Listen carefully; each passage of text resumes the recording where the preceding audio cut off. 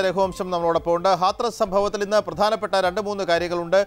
ഒന്ന് ഹാത്രസിൽ ഇന്ന് സുപ്രീം കോടതിയിൽ ഈ കേസ് വരികയാണ്. ഏത് രീതിയിലുള്ള അന്വേഷണമാണ് എന്നുള്ളത് അറിയാം. പക്ഷേ യു പിയിൽ നിന്ന് വീണ്ടും ആശങ്കയോടെ പതിനഞ്ചുകാരിയാക്കിയ വീണ്ടും ക്രൂര ബലാത്സംഗത്തിനിരയായി എന്നുള്ള വാർത്തകൾ പുറത്തേക്ക് വരുന്നു. മലയാളി മാതൃ മാധ്യമപ്രവർത്തകനെ അവിടെ കസ്റ്റഡിയിലെടുത്തിട്ടുണ്ട്. ഇരുപത്തിയൊന്ന് കേസുകളാണ് യു പി പോലീസ് ഇതുവരെ രജിസ്റ്റർ ചെയ്തിരിക്കുന്നത്. പ്രശാന്ത് ആദ്യം ഒരു കേസ് കൂടി അവിടെ നിന്ന് റിപ്പോർട്ട് ചെയ്തിട്ടുണ്ട്. ആ സംഭവത്തിന്റെ വിശദാംശങ്ങൾ.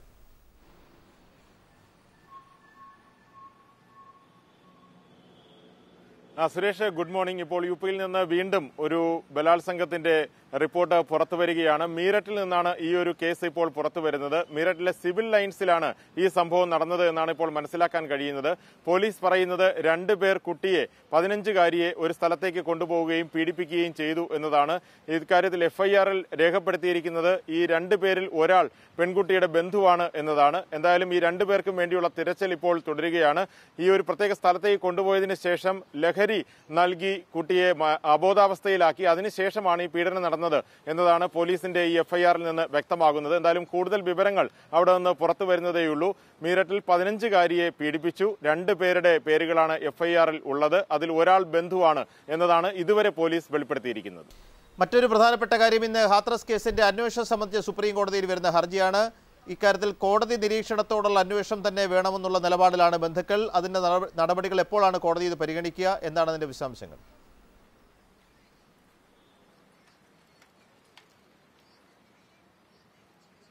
സുരേഷ് പതിനൊന്ന് മണിയോടുകൂടി ഈ കേസ് കോടതിയിൽ വരാനാണ് സാധ്യത. Chief justice S A Bobde അധ്യക്ഷനായ മൂന്നംഗ ബെഞ്ചാണ് ഇപ്പോൾ ഹാത്രസ് വിഷയത്തിലുള്ള കേസ് പരിഗണിക്കുന്നത്. ഒരു അഭിഭാഷകനാണ് സുപ്രീം കോടതിയെ സമീപിച്ചത്. ഇതിൽ പ്രധാനമായും ആവശ്യപ്പെടുന്നത് സുപ്രീം കോടതി മേൽനോട്ടത്തിലുള്ള പ്രത്യേക അന്വേഷണ സംഘം രൂപീകരിച്ച് അന്വേഷണം തുടരണം എന്നതാണ്. ഇക്കാര്യത്തിൽ കുടുംബവും ഇതാണ് ആവശ്യപ്പെടുന്നത്. സുപ്രീം കോടതിയുടെ മേൽനോട്ടത്തിലുള്ള അന്വേഷണം മാത്രമേ വിശ്വസിക്കൂ എന്ന് കുടുംബവും ഇപ്പോൾ വ്യക്തമാക്കിയിട്ടുണ്ട്. എന്തായാലും സുപ്രീം കോടതി ഈ കേസിൽ ഒരു തീർപ്പ് ഇന്ന് കൽപ്പിക്കുമോ എന്ന് നമുക്ക് പറയാൻ കഴിയില്ല. കാരണം അലഹബാദ് ഹൈക്കോടതി നേരത്തെ ഈ വിഷയത്തിലുള്ള കേസ് പരിഗണിച്ചിരുന്നു. സാധാരണ chief justice S A Bobde പല കേസുകളിലും എടുത്തിട്ടുള്ള നിലപാട് ഹൈക്കോടതികൾ കേസുകൾ പരിഗണിക്കുന്നുണ്ടെങ്കിൽ ഹൈക്കോടതിയുടെ തീർപ്പ് ആദ്യം വരട്ടെ എന്നുള്ളതാണ്. എന്തായാലും പന്ത്രണ്ടാം തീയതിയാണ് അലഹബാദ് ഹൈക്കോടതി ഈ വിഷയം വീണ്ടും കേൾക്കാൻ തീരുമാനിച്ചിരിക്കുന്നത്. അതുകൊണ്ട് അതിനു മുമ്പ് സുപ്രീം കോടതി ഇക്കാര്യത്തിൽ ഒരു നിർണായക ഇടപെടൽ നടത്തുമോ എന്നുള്ള കാര്യം ഇപ്പോൾ പറയാനാവില്ല. എന്തായാലും ഈ കേസ് രാജ്യശ്രദ്ധ നേടിയതാണ്. പെൺകുട്ടിയുടെ കുടുംബത്തിന്റെ ആവശ്യം ഉൾപ്പെടെ കോടതിക്കും ബോധ്യമുള്ളതാണ്. അതുകൊണ്ട് കോടതിയുടെ ഭാഗത്തു നിന്നുള്ള ഒരു തീരുമാനം വളരെയധികം നിർണായകമാകുമെന്ന കാര്യത്തിൽ സംശയമില്ല. സി ബി ഐ അന്വേഷണത്തിന് വേണ്ടി സംസ്ഥാന സർക്കാർ നേരത്തെ ശുപാർശ നൽകിയിരുന്നു. പക്ഷേ സി ബി ഐ ഇതുവരെ കേസ് ഏറ്റെടുത്തിട്ടില്ല. പ്രത്യേക അന്വേഷണ സംഘം തന്നെ നേരത്തെ പോയി അവിടെ മൊഴികൾ രേഖപ്പെടുത്തുന്ന കാഴ്ചയാണ് കണ്ടത്. എന്നാലും എന്തുകൊണ്ടാണ് വീണ്ടും വീണ്ടും പ്രത്യേക അന്വേഷണ സംഘം അവിടെ പോകുന്നതെന്ന ചോദ്യം പ്രിയങ്ക ഗാന്ധി ഉന്നയിക്കുകയൊക്കെ ചെയ്തു. ഇതിനിടെ പ്രതികാര നടപടികൾ ഇപ്പോൾ എന്തായാലും യു പി സർക്കാരിന്റെ ഭാഗത്ത് നിന്ന് അല്ലെങ്കിൽ പോലീസിന്റെ ഭാഗത്ത് നിന്ന് തുടങ്ങി എന്നുള്ള ആരോപണം പ്രതിപക്ഷം ഉന്നയിക്കുകയാണ്. നേരത്തെ സുരേഷ് ചൂണ്ടിക്കാട്ടിയതുപോലെ തന്നെ ഇരുപത്തിയൊന്ന് കേസുകളാണ് പോലീസ് ഈ സംഭവവുമായി ബന്ധപ്പെട്ട് ഇപ്പോൾ രജിസ്റ്റർ ചെയ്തിരിക്കുന്നത്. പ്രത്യേകിച്ച് പ്രതിഷേധിച്ചവർക്കെതിരെ ഉള്ള കേസുകളാണ് ഇപ്പോൾ രജിസ്റ്റർ ചെയ്തിരിക്കുന്നത്. അതിലൊരു എഫ്ഐആറിൽ പറയുന്നത് ചില സംഘടനകൾ അൻപത് ലക്ഷം രൂപ പെൺകുട്ടിയുടെ കുടുംബത്തിന് വാഗ്ദാനം ചെയ്തു എന്നതാണ്. ഈ അൻപത് ലക്ഷം രൂപ നൽകിയാൽ സംസ്ഥാന സർക്കാരിനെതിരെ വളരെ രൂക്ഷമായ വിമർശനം ഉന്നയിച്ചുകൊണ്ട് ചില വീഡിയോകൾ സമൂഹ മാധ്യമങ്ങളിൽ പ്രചരിപ്പിക്കണം എന്ന് ഇവരോട് ആവശ്യപ്പെട്ടു.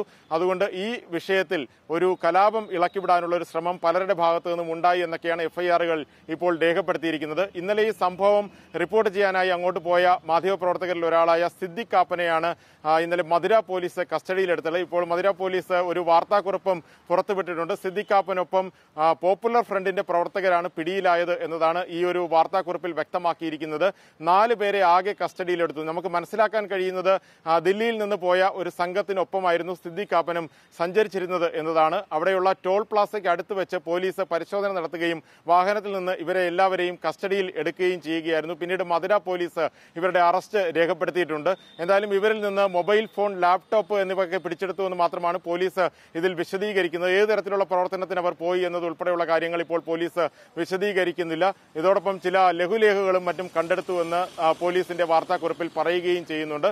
പക്ഷേ സിദ്ദിഖ് കാപ്പൻ ആ, ജോലി ചെയ്യുന്ന സ്ഥാപനത്തിന്റെ സഹപ്രവർത്തകർ ഉൾപ്പെടെ പറയുന്നത് രാവിലെ അവിടെ റിപ്പോർട്ട് ചെയ്യാൻ പോകുന്നു എന്ന് അറിയിച്ചതിന് ശേഷം സിദ്ദിഖാപ്പൻ അങ്ങോട്ട് പോയി എന്നുള്ളതാണ്. എന്നാലും കൂടുതൽ കാര്യങ്ങൾ ഇപ്പോൾ മധുര പോലീസും ഈ വിഷയത്തിൽ വെളിപ്പെടുത്തിയിട്ടില്ല. അതുകൊണ്ട് നിരവധി കേസുകൾ രജിസ്റ്റർ ചെയ്തുകൊണ്ട് പ്രതിഷേധിച്ചവർക്കെതിരെയുള്ള നടപടികളിലേക്കും ഇപ്പോൾ യു പോലീസ് കടക്കുന്നു എന്ന് തന്നെ നമുക്ക് വിലയിരുത്താം.